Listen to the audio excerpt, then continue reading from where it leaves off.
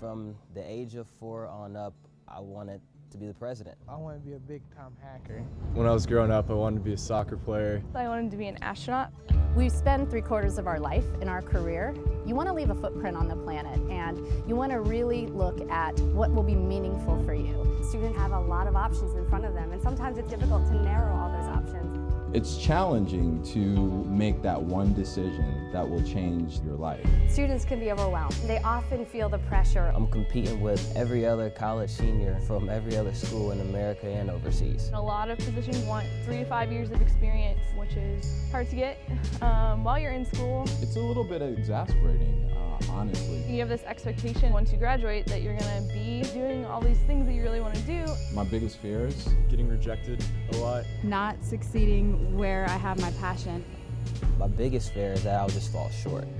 Talk to a lot of students. They seem to be a little bit frazzled about the economy, about getting a job. What are you actually teaching the students that's preparing them for a career? Well, there are so many tools out there today, and students have to take advantage of those tools. And they have identified me as a recruiter at a company that they are interested in. As you can see, 160 messages. We find the students that have the skill sets we need and then target our efforts into those schools. Our overall workforce plan always is composed of university hires. This is basically the future Smart. you're looking at right here.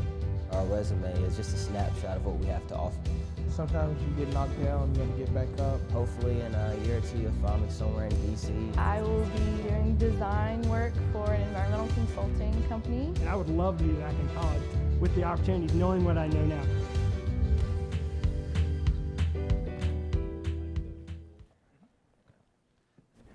Yo, how y'all doing? right on.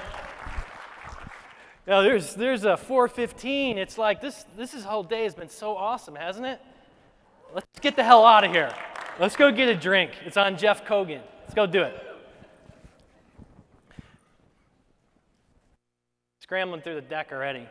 Who's here because they're um, starting a student recruitment program? You're starting one, right on. Who's here because they have one? Right on. The rest of you, just strap the hell in because it's about to get real. I'm telling you. So it turns out 79% of employers around the world hire students and recent graduates. Who knew? In fact, y'all are going to be hiring about 100,000 people just this month, which is fascinating, of course. But let me tell you, we got a whole generation of kids that are driving blind. They have no idea what skills you need. We got a bunch of employers that are still driving blind when it comes to recruiting students. It, it baffles me that, that we still show up at the same 10 golden schools trying to find the same group of students. We set up our booth and we think our swag and our lighty balls are going to be the thing that attracts this next generation of students. That's what we're doing. I'm here to show you a different road, right? One with no speed limit and no one else is on it. A road from 10 schools to 24,000 plus schools around the world. A road that leads to kids that maybe aren't even in college. They're on edX, taking Harvard's famous CS50 online for free, or they're on Coursera, learning all the skills that they are figuring out that they need. I'm not going to talk about millennials. In fact, I'm a little tired of it. No offense to 90% of you in the room. Millennials started Facebook. And that's great. The world's open and connected. What I want to talk to you about is Generation C. I call it Generation C. I'm convinced that the next generation of kids, folks like that are graduating college now and in the spring, kids like my own two teens who are looking at colleges now, comprise the next great creative generation, Generation C. And they have their geolocation off. But I think they're going to change the world. It's folks like this guy, Jasper Jaspreet Singh. What's going on, man? Only college student in this place coming up in here, and it's a smart move. I'm going to tell you why in a little bit. It's people like Daquin Newton. This kid, I've been watching his career path for years. Sometimes I tell people, I've been tracking in the four and a half years I've been at LinkedIn hundreds of students, college students, and employers. Many of you I know. This kid told me, Rob, I'm gonna, you're gonna see me on Wall Street. I'm gonna be driving a Ferrari and living large. Daquin's a first generation college student, graduated from NC State with a finance degree. Guess where he's at now? Teach for America called him and said, Daquin, forget about Wall Street, it will always be there. Come work at inner city schools that are, ha- have a high need for teachers. So he's committed two years of his life. And I talked to him the other day, literally, and he's like, I don't know if I can do this. And I said, Let me show you what the team at LinkedIn has done here. Let me show you the outcomes of people that work for Teach for America after they do their tour of duty. Go look at it. It's, a, it's absolutely astounding where these folks end up. I want to tell you about kids like my son Shane. Shane is an interesting guy, right? I got two teenagers. One sort of like Alex P. Keaton, he's a little bit more like me. But let me tell you something about Shane and what he represents. First off, I gotta, I gotta confess, he read my script for this talk before I got in the plane told me it was a complete piece of garbage, rewrote it. And literally 90% of what I'm saying, he wrote. He's the first high school kid on LinkedIn to write a post that's been read by 20,000 people with hundreds of comments and 20,000 views, more than the first quarter of people here. The other thing is, Shane's already using the new revolutionary products that our higher education team has just recently launched. And if you haven't seen these, they're going to blow your mind away. He's using University Finder to figure out what types of schools would be good for him. Shane's a junior in high school. He's looking at schools right now based on actual career outcomes of 313 million plus people.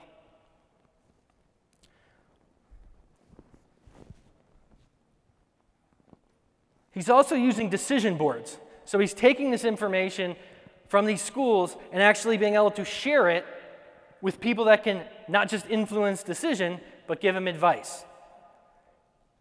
All right? In 1987, when I, went to, when I was looking at colleges, my mom, who was a secretary in a hospital, said, Robbie, these guys are driving these awesome cars. You should think about health care. You should do that. I have a degree in healthcare administration, I'm in a job called manager of content marketing, which didn't even exist till like a couple years ago, I think. Kids like JD, my son that's looking at schools right now. So I'm literally talking to my wife and my son JD just, just recently. Of course, I'm a man. So I butt into the conversation and say, listen, I've been working at LinkedIn for almost five years. I know this inside and out. Now, I've been married 20 years, and I still butt into a conversation that my wife is having with my son. I'm just saying, what was I thinking? But of course, I had the natural question how much is this going to cost? Is it worth it? He's looking at Georgetown, right? Last I checked, it was $62,597 on average per year. Now, LinkedIn's been good to me, but not that good. In fact, the number of people with degrees since my brother, who graduated in 1979 and now, makes it ultra competitive for any kid. Because unlike my brother Jim, who got out of Providence College, got in his little beetle with his cut off shorts and his no shirt driving down the highway, gets pulled over by the cops, hey, it'd be great if you could put that bear in the back seat. Keep it on ice, but put, keep it in the back seat. He had job offers all over the place. The world's different. JD Shane and Jaspreet and all these people are going to be competing with not just the people sitting in the car next to them, but everybody else in the world. And the cost of a degree has increased over a thousand percent. Now, I'm pretty sure that Wade Burgess and Dan Shapiro and Jeff Weiner and my boss, Jeff Kogan, don't care where I went to school. What they care about is what I'm selling or delivering to them. I could be wrong. Then, of course, I mentioned to my wife and my son, who's now staring at me, both of them with eyes like glaring at me, like, shut up, Rob. There's over a trillion dollars in student debt now, guys. We really need to do a cost benefit analysis. This is such an emotional decision. Is anyone going through this, by the way? Anyone have kids looking at colleges quite yet? A few of you. It's just a matter of time for the rest of you. All right? Where you go to school, will it matter? I had to bring this up because I couldn't stop talking, obviously. So in North Carolina, where I live, we've got a great elite private school, Duke University. We've got Carolina. Any Tar Heels here? No? And we've got North Carolina State University, which is a state school, right? Well, they have different costs associated with them. JD would love to go to Duke, and he's applying to Duke. I'm praying he gets into Carolina. I got to be honest about it. But you know what? The median mid career salaries tell a different story. They say that, well, if you go to Duke or Stanford or an elite private school, you're going to be better off. Maybe. But is the cost benefit that significant? Is my, after my paycheck net of my student loan, where I've got a crushing amount of debt, going to paint a different picture for me? Then I say, what about your major? You know, does it matter if what you major in? If you're Jaspreet and I know you're a computer science major, everybody wants to hire you because there's 16 jobs to every one CS or double E person that's graduating next year, right? Well, I did a snapshot naturally of the audience at Talent Connect. And I'll ask you, how much does it really matter what your major is? If you're not a STEM student in computer science, environmental engineering, or what have you, your business psychology, journalism, social sciences, does it really matter? Did anybody here go to college for talent acquisition? Anybody? so, I am love LinkedIn. You know why? Because we've got these crazy data people. Sohan Murthy, who is just amazing, and Christine Schmidt, all these people that can slice and dice this information. Stuff I couldn't even get into the program to look at it. You know what I mean? And this is what you're going to hear in an upcoming blog post about the most hard to find skill sets, the skills that are actually getting members hired, the top 25. Note that one is a recruiter. And of course, you can imagine all the data scientists getting together. Recruiters in there. Which is it? Is that? Let's double check that. So good for all you. But the other are scripting skills, Python programming, mobile development, right? The interesting thing about it is US members, about a million US members in the sample that we looked at that are graduating, only 1.2% of them have any of the top five schools. Jaspreet Singh has two to three of those. He's in pretty good shape. But I said, JD, you're not going for computer science. It's going to be a little bit difficult. Let's play a game. Anybody want to play a game? I do. There's six kids up here. Anybody hiring technical talent? And you're hiring computer science people, software engineers, right? What's what company? Redfin. Yeah. Hot man, hot hot thing. So out of these people here, um, let's go ahead and, and figure out how we're going to choose which student we're going to want to recruit. How would we go about that? What's the first question we want to ask?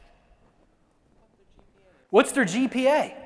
Laszlo Bock, if he was here, he would come up here and say, GPA is not a descriptor of someone's future performance. So I can't even tell you what it is anyway. I'm not going to tell you. What else might we look at? Where they go to school? I'm not going to tell you where any of these people went to school.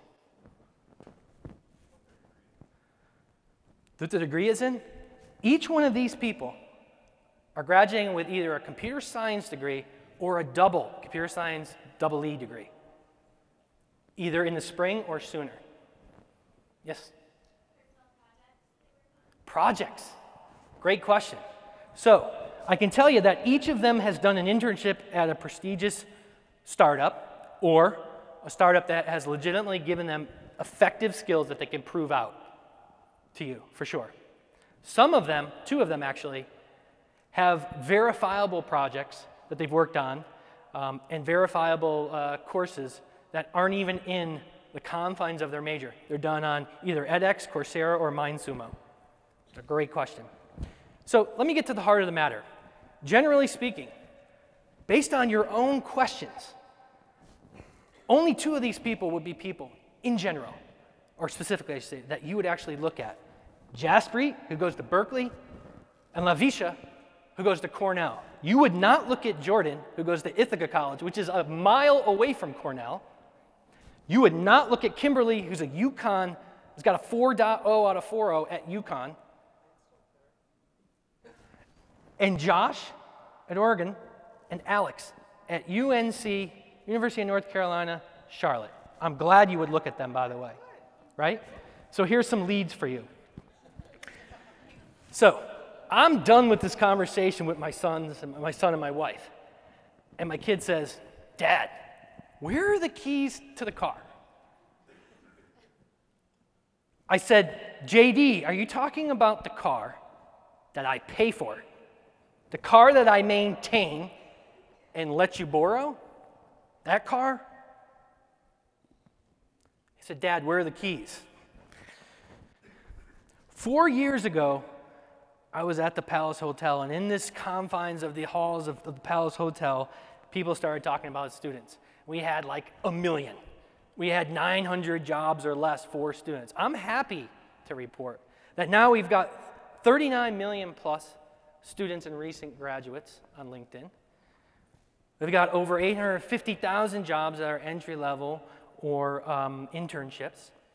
So we've increased our capability to attract students to the platform. And on top of it, the icing on the cake is that they're the most engaged and fastest growing cohort on LinkedIn.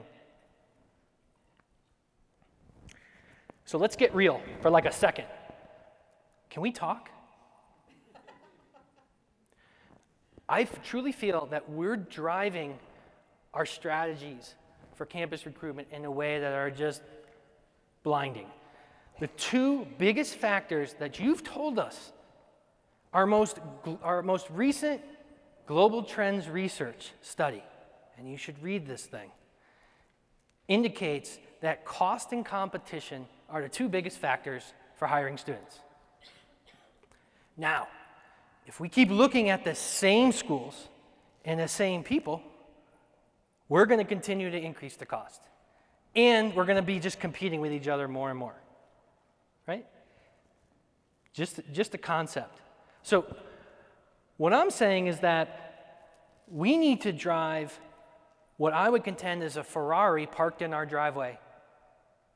It's idle and relatively lifeless and we're not doing anything to ignite that. I think we need to gas that whip and drive it. And we need to think about ways where we can connect, right, with students more broadly, consider a much larger swath audience of people, and then go ahead and create content that's relative to their career. So we can get the Shanes of the world who will go out there and experiment with projects and, and posting on LinkedIn or whatever you have in your mind that can help them in their career. Now, I could give you the details of how to do this, but what I, what I have, as you know, is I've got the head of the yellow pages with me today, Melissa Hooven, to tell you exactly how to make this happen. Let's give it up for Melissa. Wow. Let me get that book. Let me, let me look it up, guys. I, when, I, when I first, you know, when I first was like yellow pages, we're going to talk about this. It's kind of like really, but I'm really excited to have you. Take you actually cra like crashed my campus here too a couple weeks ago, so it was nice to see you um, at our office. Um, my name is Melissa Hooven. Um, yes, this book, um, I'm actually going to tell a quick story. Um, so my grand, grandma and both my parents had a small business and they actually advertised in this business, in this book. And when I told them that I was going to go to the Yellow Pages, they laughed and you know, told me their stories about advertising in this book. But this book still brings a lot of money for our business in. Um, I'm going to tell you another story about student recruiting that I thought was just fascinating and actually happened a couple weeks ago. Um, I got invited to speak at a local college um, that, this microphone is so loud. Um, I got to, asked to speak at a local college is a class that was doing digital media. And the students were sitting there and like bright-eyed and I was telling them all about like my background working in technology companies. And the students, the advisor said, go through the pitches and pitch it to Melissa and let her like tell us what she thinks of the final projects.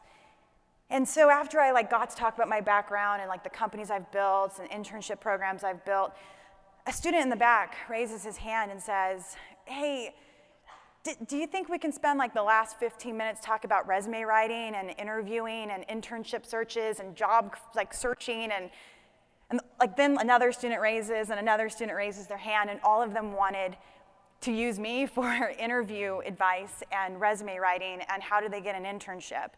So instead of me looking at their final projects, I spent four hours till the late hours of the night helping them just kind of reconsider their career choices, reconsider an internship, and help them figure out how to write a resume. And what we don't realize is that so many people and so many students just don't have work experience. And so we're going saying we're gonna hire them based on the college and the GPA and their, and their program that they're in. And we don't realize that what Jeff said earlier, um, on stage in the keynote is that we need to start to consider talent. Oh, I have a clicker. Guys, I love it. Oh, love it. We get to consider talent now differently. And Jeff Weiner said this morning that when he goes to hire talent, he looks at them for three things dream job, fit, and passion. And so those six students on the board would have never gotten your attention if you would have gone the old way. And these students are sitting in our local colleges, and we're not even considering them because they don't come from the top 10 golden, golden eggs. What we need to do is start considering talent differently and start looking at colleges and students for what they can bring for the future, not what they've done. And so we need to take a different approach to talent acquisition as we're interviewing and working with them. So I think I'm going to click through this one. Oh, another thing that came up on my uh, there's a student ebook that LinkedIn just uh, uh, published. I think you guys are all going to get copies of it, which I highly suggest you read. It said that 21 million, million students are on the job market considering their career right now. 21 million students. That's a really big talent pool. That's a, I mean, if I had 21 to choose from, I think I'd not be in my uh, position. be easy to hire. So I sat down on the keynote actually and flipped open my computer, and in that I said LA. I picked two schools, and I just said student, just some quick searches, and 11,000 search results came up on my feed. 11,000. I don't even have to go to a career fair. I can just go message them and start an internship program. And we can do that virtually at our fingertips right now. So we have to consider things differently. We have to consider how we do our talent acquisition, how we're interviewing them, and really use Jeff Weiner's approach. And then also consider talent that's local. Connect. This is really important. Students these days are at their fingertips. They're on their mobile phones. They're connected to the university platform that Rob showed you a few minutes ago. They're looking at your company all the time. And we're at career fairs and we have little swag. They go home, they do their research, they're on LinkedIn, and we're not connecting back. And they all have profiles. 11,000 of them in LA had profiles. And I have, I, I'm not emailing them. So we need to connect differently. I strongly suggest, if you can, put a university recruitment career page together. I think that's very important to push out relevant content and also list openings that's, that's eligible, A, for entry level or also internships. Um, and another thing is to connect through LinkedIn. Um, connect in through a marketing campaign, email them directly, get in touch with them. Also, add on your company page, you can, if you have a, you guys should all purchase a big page, But on a couple of those tabs, you know, you always put your sales recruiting, your technology recruitment, but you're not talking about university recruitment. And there's 21 million out there. I consider that a really good talent pool that we're not capturing. So I think it's about kind of positioning yourself with content and making some, some entry points into your company. And also being personal. One of the great things that I did, and also at YP, if you guys don't know, I don't have a big internship program. I just don't.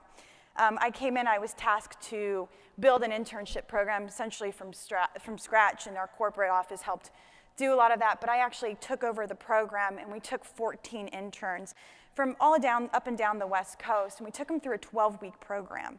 And it wasn't anything spectacular. It was, you know, a small and an intimate group of people, and we're all still on an email chain, and we share photos of the travels we've done over the summer, and they still text message me all the time, and it's, they're incredible kids. But through the 12-week program, what we did is we did um, bi-monthly lunch and learns where they got to sit down with an executive over lunch and just have a conversation about career, career pathing. How do you write your resume? Like they were talking to me at this, at this class, they were able to talk to an executive. So I gave them frontline exposure to the executive team. The other thing I did was um, I gave them full access to our YP engineering blog, and I said, hey, why don't you guys post? And they post about the projects and the people and all these experiences that they met. So they kind of got to connect back into the world and write down their experience, which is incredible. Um, another thing, um, after each of our lunch and learns, I kept asking them, I would go sit in lunch and learn and say, what more can I do for you? What else, what else do you guys want? So a hackathon came on the board. And I said, screw it, let's do a hackathon. Like, I have a tech team of 400. I think I can figure this out. So I went right into our engineering team and I said, hey guys, help me out. Let's set it up. Let's do a mini hackathon. And what we did was they built products that they thought were relevant or next generation to YP. YP, yes, is a digital company too, so we'll get there. Um, so they got to develop great products and launch them, and then send, we had our executive team sit there, and they got to present their products, what they think the future of our company is, to our executives. And also, I didn't give them like part-time work. I put them right into our engineering floors, right into the product floors. They weren't like part-time workers. Everyone confuses an intern with a part-time worker. And, and I'll have a full discussion on that one day with you guys. But I put them right in the product and technology floor, and they were working on our real platforms. They were on our APIs. They were in our database team. You know, they were doing front-end code. They were doing mobile apps. So they got real-world experience that's now sitting on their resume it wasn't just like this little internship and you know they like were data filing and, and like you, you as a company didn't better them. So one of the questions I always want you to ask yourselves as you're creating an internship program is what could you do for them? There's 21 million of them and they're so eager and they're fresh and they're hungry. And here we are sitting, you know, 5, 10, 15 years into our career with all this experience and, and they were working at a hamburger shop, you know, to pay for their way to college and we're not considering them because they're not at the top 10 schools. So, just to recap, Rob loves Ferraris. I would probably take a Range Rover. so, one, consider talent. Broaden up your spectrum of where you're, you're searching for talent. Open up a map. Put 25 miles in each radius. Go to LinkedIn, search data. Where's those 11,000 students for you and get in front of them. Go to those campuses and those career fairs. You don't have to you know, fly around the states to these you know, big top 10 schools. But what you can do is go into your local communities and get involved at their career fairs. And then secondly, what you can also do is a little nugget of information is they have associations within those universities and you can partner with them, whether it's writing or film or production or technology or women's engineering. Go tie yourself to an, organ to an association if you don't have money to set up a an internship program, or even a career booth. So consider talent. Two, create career content. So make sure your LinkedIn page is up to date, add some university recruitment, get on your social profiles and, and get the word out there. Have a career page um, for your company that is really focused on university recruitment and start the conversation, even on a LinkedIn email basis. 11,000 came up. I mean, I think I'm, I could quickly make an email and get some people interested in YP. Um, and then connect um, and that, and then also ride your whip. Rob's a great graphic person. So Rob, do you want to come help me up on stage here? Come on. Yeah, you know what? One thing that um, one thing that strikes me that, and thank you so much. Oh, you're welcome. insights, Appreciate it. Um, one thing that strikes me is like, you know, I'm always reading Laszlo Bock's, um, How to Get Hired at Google. Yeah. We should all go do that. We should like go party and have fun tonight at uh, at the pier, but we should take time to all just write an article and saying this is what's going to take to get hired at my company. Right. Um, thank you so much for for I'm coming. I not it. quite done. Why do you got to do this to me? I just wanted you up on stage. Why? Just a little bit of nerves. Um, you've known me for some years. I, I have. You've crashed pretty much every single one of my companies that I've I worked have, at. And I can't believe I went. I did go to Glendale You did on a really hot day. to see the yellow pages. By the way, the company's doing a billion dollars in print and a billion dollars in digital, so they're completely legit. Yeah. But what- what's on your mind? You also know me to do some really crazy things in talent acquisition. I do. So I've presented about a thousand offer letters in my career, probably through email, Oh yeah. but I've never done it on stage. And Jaspreet's sitting in our audience. I see where this is going. you didn't see this coming, did you? So Jaspreet the whole time thought he was going to come up here and do a QA, and I, I, I paid for him to come down here, and I said, oh, you please do this Q&A with me on stage. Um, but YP actually wants to hire him. So, Good for you. Hey, Jaspreet, get up here, man. Come get your offer, dog. so I'm doing it the electronical way, a hard drive. Your offer letter's on here. I'm gonna tell you right now. Congratulations on your offer, by the way. Thank you so much. Yeah. enjoy. Hey, you better get him right out of here. 'cause You got like 90 people. You're you want to hire him too. Yeah. Yep. He's going to think it over because I know there's a lot of other technology companies in the, in the room. They're probably going to poach him on the way out. really, really. Thank you so much. You're you, welcome. You better get out of here. Yeah, thank you. Thank you Guys. so much for joining us. Appreciate you, you coming at 415.